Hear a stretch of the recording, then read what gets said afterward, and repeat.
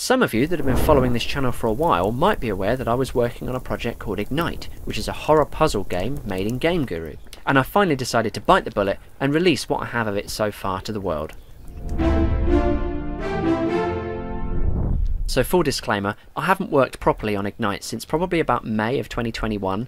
Um, at that stage, I had just prepared a three level standalone. It was just the opening three levels of the game, and really, that standalone was only designed to be played by a handful of people. I sent it to some very select members of the community just to get it in the hands of maybe five, maybe ten people, just to get their feedback on it to see if I was heading in the right direction. And the feedback I got from that standalone was really positive and also really helpful. They unearthed some bugs which I just hadn't thought of, um, and they also had some comments on kind of like the world design and the general feel. But it had taken such a long time to actually get to that point where I just had three playable levels that I was, I mean, basically just exhausted. So uh, I decided to put Ignite to one side for a few months, hoping that you know my sort of enthusiasm for the project would come back, uh, and maybe in the sort of um, autumn or winter of 2021, I would kind of get that that urge again, and I would want to pick it up and start making levels again. To some extent, that did happen. I did put some time into making a fourth and a fifth level, but I never really got them to a kind of a playable state, really. And they're not included in this standalone because they're just they're not complete levels at this stage. And then 2022 was basically a complete write-off because I just got busy from the beginning of the year right through to the end.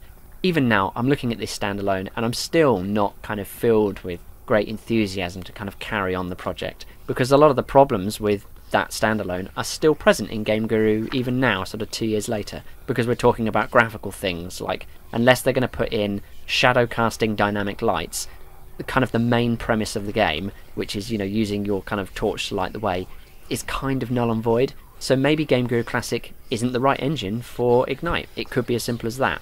Um, but equally, I I don't really have the incentive to sort of try and port everything over to Game Guru Max. Uh, it just seems like it's more effort than it's worth for an engine that's not stable enough, performant enough, um, or just finished enough.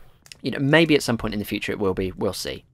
And so I'm left with this three-level standalone, and I just kind of came to the conclusion that the only thing more tragic than a game that's never released is a game that's never played.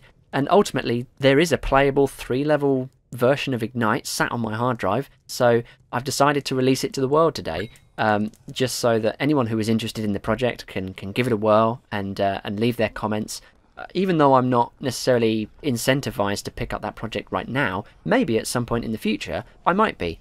Having had that distance, it's given me a lot of perspective on kind of the different direction I'd probably want to take Ignite in. So, for instance, this standalone begins with a, a long sort of uh, first person perspective cinematic, um, which is all quite mysterious and has some uh, Stravinsky playing over it.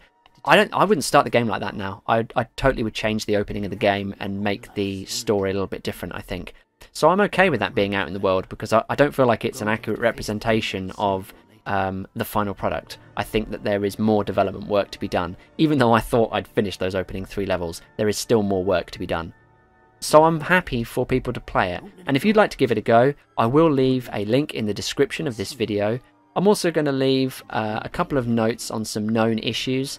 There's a couple of things you can do to fix some of them, but equally, there's just some things that, because it's a finished standalone with encrypted files, you're not going to be able to fix them. Um, that's just the way it is. And also, you've got to remember this was built in a, an earlier version of Game Guru Classic, um, probably the sort of whatever version we were running in spring 2021, I guess. So any of the kind of developments that have happened in the last two years on the engine, um, this this build doesn't take advantage of those things. So uh, yeah, that's that's a bit of a shame, but it is what it is. So if you're interested and you'd like to leave some comments, please feel free to comment on this video or on the uh, Discord thread, which I, I, guess I can also leave a link to as well. And uh, yeah, it would just be really nice to kind of gather as much sort of data as possible, um, because even if it doesn't necessarily affect this project, it could be useful for, you know, future game projects possibly. So, I don't know. I'm still sort of toying with that. Um, but anyway, thanks for watching. I hope you enjoy the demo, and uh, I'll see you next time. Cheers. Bye.